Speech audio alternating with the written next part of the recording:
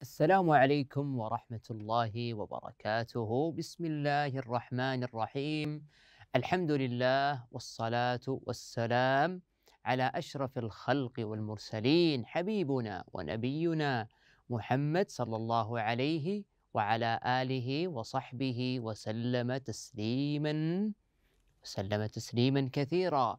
حياكم الله يا أبناء الطلاب وأهلا ومرحبا بكم. في هذه الرحلة التعليمية المفيدة والممتعة التي بإذن الله عز وجل تكون محطة من خلالها نتزود بهذا العلم وهو العلم الشرعي النافع.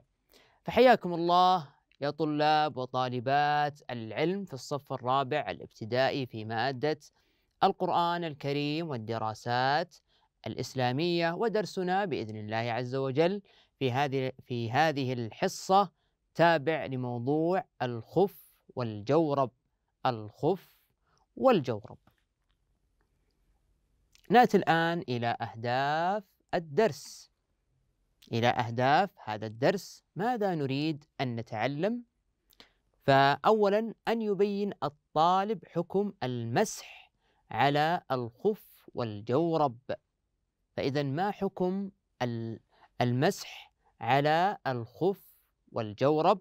هذا بإذن الله عز وجل ما سنتعلمه في هذا الدرس وفي هذه الحصة. ومن أهداف الدرس أن يذكر الطالب معنى الخف والجورب. ما هو أو ما المقصود بالخف وما المقصود بالجورب وما الفرق بينهما؟ هذا بإذن الله عز وجل ما سنتعلمه في هذه الحصة وفي هذا الدرس.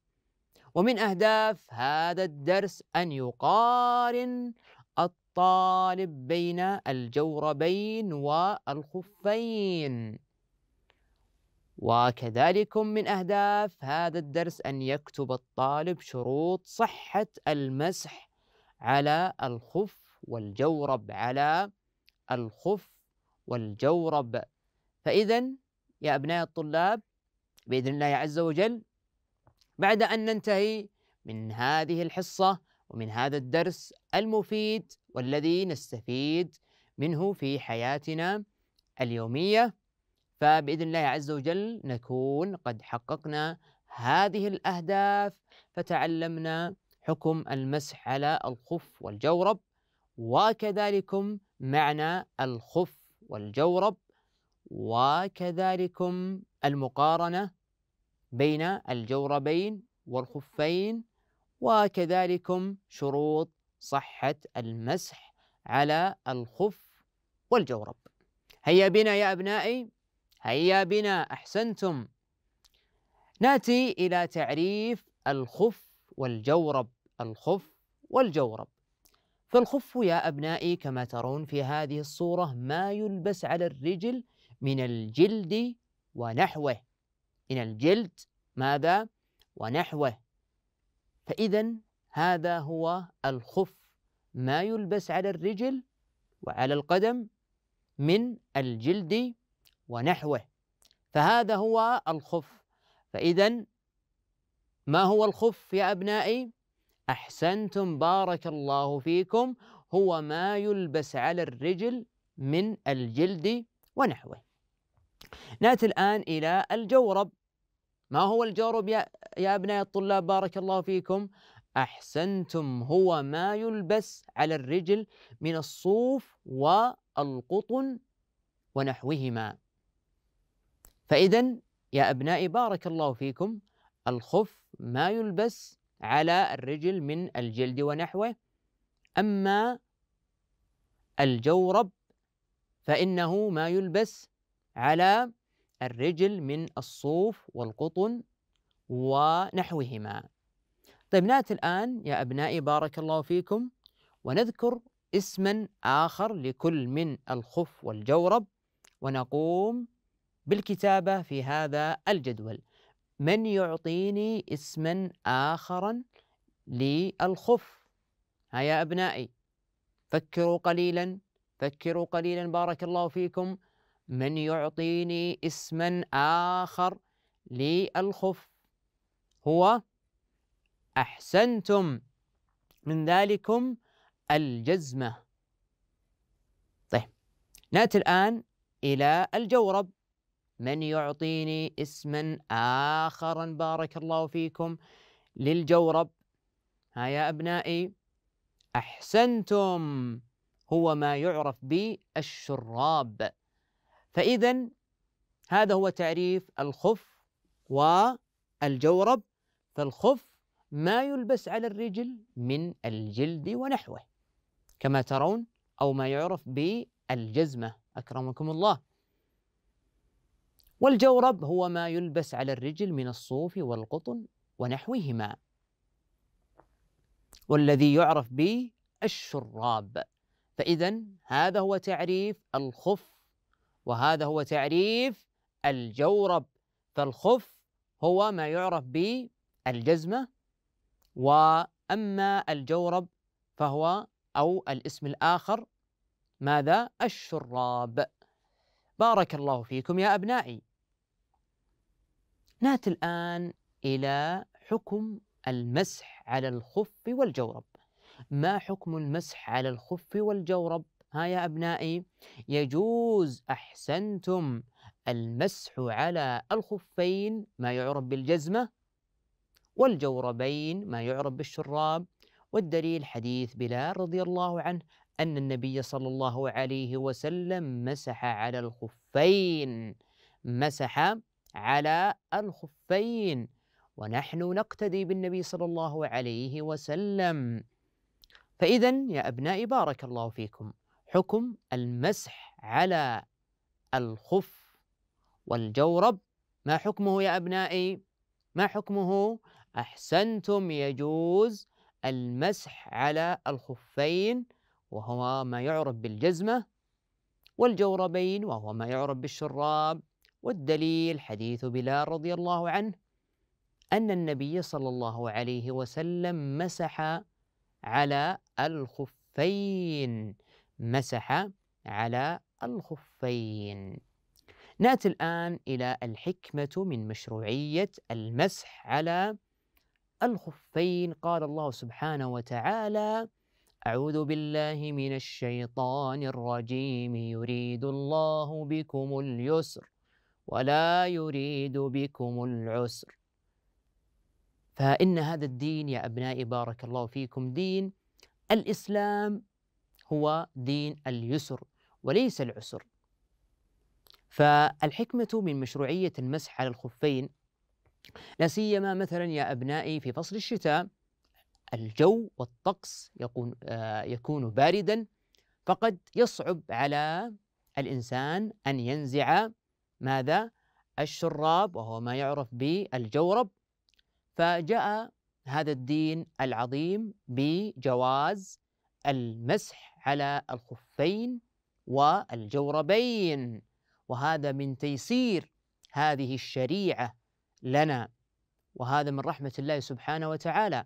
وهذه رخصة. فاذا يا أبنائي بارك الله فيكم. الحكمة من مشروعية المسح على الخفين تيسيرا لنا. لأنه في بعض الحالات قد يصعب علينا نزع الخف أو الجورب أي الجزمة أو الشراب فيجوز المسح عليها تيسيرا لنا وهذا من رحمة وسعة ويسر هذا الدين العظيم. الآن يا أبنائي سنتابع هذا المقطع التعليمي أرجو بارك الله فيكم أن نقوم بالمتابعة الجيدة لهذا المقطع التعليمي المفيد ثم نعود إليكم هيا بنا المسح على الخفين والجوربين أنا سعيدة جدا لأننا سنقضي الإجازة في جدة. وأنا أيضا أشتاق لشاطئ جدة.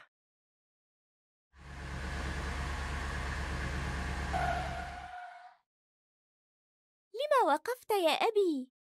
لقد دخل وقت الظهر. وعلينا ألا نؤخر الصلاة. سنصلي ونكمل الطريق إن شاء الله.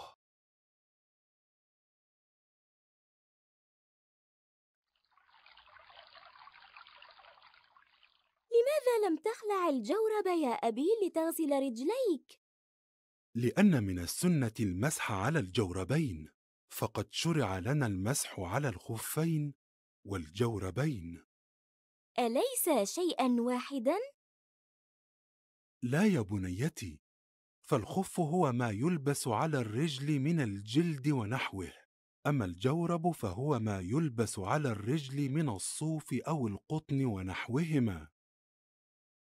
وقد ثبت من حديث بلال رضي الله عنه أن النبي صلى الله عليه وسلم مسح على الخفين وهذا يدل على جواز المسح عليهما. وهناك شروط للمسح على الخفين والجوربين. أولها أن يكون لبسهما بعد كمال الطهارة. ففي حديث المغيرة بن شعبة رضي الله عنه قال كنت مع النبي صلى الله عليه وسلم في سفر فأهويت لأنزع خفيه فقال دعهما فإني أدخلتهما طاهرتين فمسح عليهما. ولا بد أن يستر الرجلين مع الكعبين فلا يصح المسح على جورب دون الكعبين.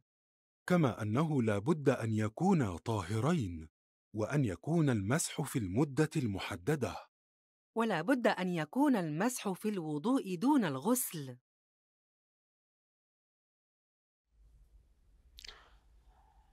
الآن يا أبناء الطلاب بارك الله فيكم. بعد أن تابعنا هذا المقطع نأتي إلى شروط المسح على الخف والجورب.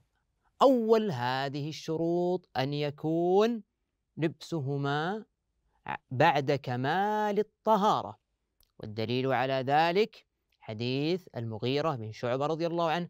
قال كنت مع النبي صلى الله عليه وسلم في سفر فأهويت لأنزع خفيه فقال صلى الله عليه وسلم دعهما فإني أدخلتهما طاهرتين. فمسح عليهما صلى الله عليه وسلم. فإذا بارك الله فيكم يا أبنائي. أول شرط من شروط المسح على الخف والجورب أن يلبس الخف أو الجورب بعد كمال الطهارة. بعد كمال الطهارة أي المقصود بها الطهارة المائية. فإذا والدليل كما مر معنا حديث النبي صلى الله عليه وسلم دعهما فإني أدخلتهما طاهرتين فمسح عليهما صلى الله عليه وسلم. فإذا يا أبنائي المقصود بذلك أن يدخل الخف أو الجورب بعد أن يقوم بالطهارة المائية أي بالوضوء ثم يلبس الخف أو الجورب ويمسح عليهما بعد ذلك. فهذا أول شروط المسح على الخف والجورب. الشرط الثاني بارك الله فيكم أن يكون الخف أو الجورب ساترين للرجلين مع الكعبين كما ترون في هذه الصورة يجب أن يكون الجورب ساترا للقدم مع الكعبين. ونذكر الآن مثال لخف أو جورب لا يتحقق فيه هذا الشرط. من ذلكم جورب لا يستر الكعبين.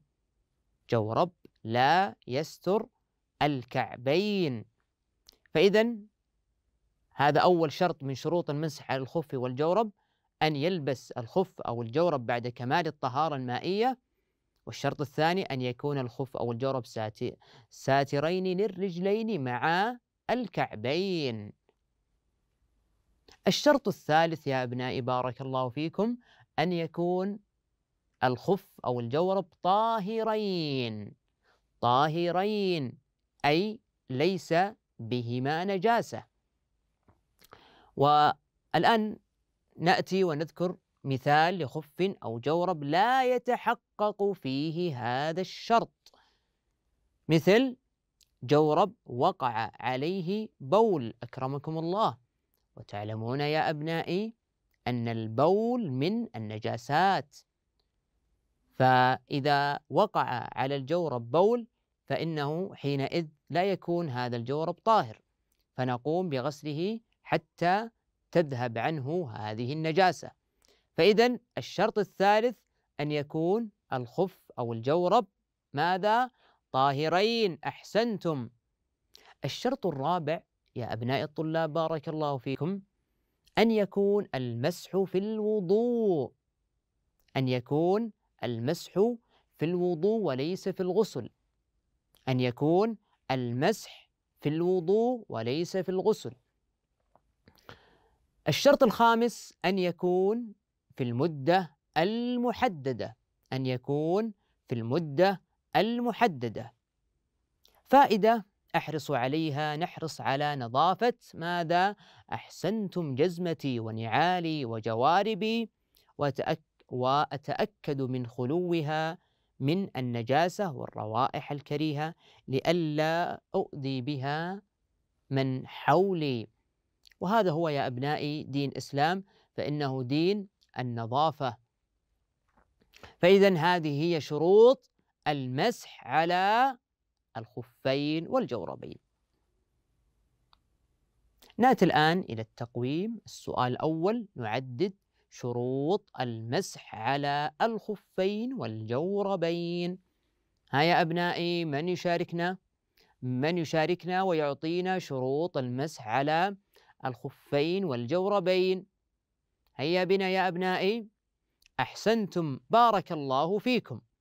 فإذا أن يكون لبس الجورب أو الخف بعد كمال الطهارة المائية. الشرط الثاني أن يكون الخف أو الجورب ساترين للرجلين مع الكعبين.